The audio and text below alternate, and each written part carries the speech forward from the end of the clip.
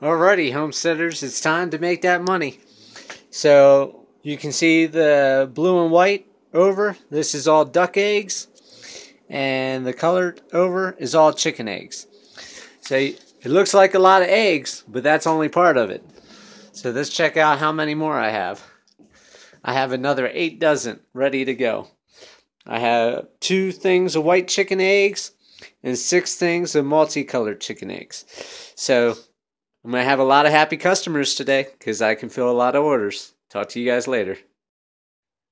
Live happy, live free. That's the only way to be.